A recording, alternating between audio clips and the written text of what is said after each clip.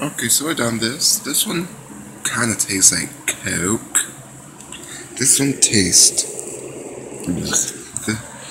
But sorry, I don't know what I have been. So we're gonna try these again. So we're gonna try these sodas. I opened them. Sorry, my food is in the background. So let's go ahead and try these out.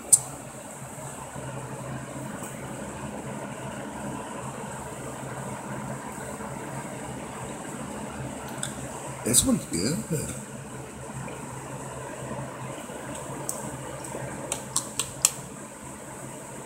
This one kinda, and it's like kinda tastes like Pepsi or Coke.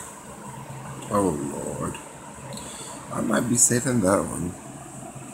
And oh lord. This one, I tried this one on the other video, but let's try it again.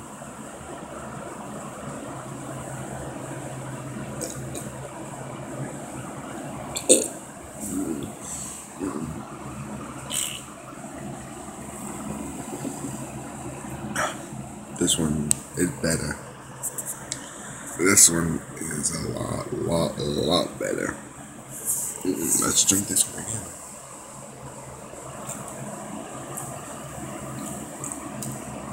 Mm. Now this one takes everything out. I Hope you did see me drinking. So,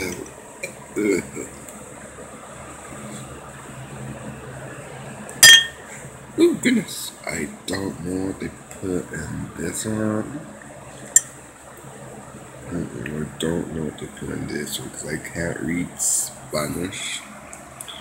But I recommend this one because it smells but tastes a little bit different than Coke or Pepsi, but tastes a little bit like it. I don't know how to explain it, but this one tastes nasty. What's it smell like? This literally don't have a smell to it. It's just a clear club um, soda. I don't know. So I hope you like this video. This is your Sly Queen. And please subscribe to my channel. And then, yeah for I can try more stuff every Sunday. I'm gonna try different things, okay? Okay, bye now.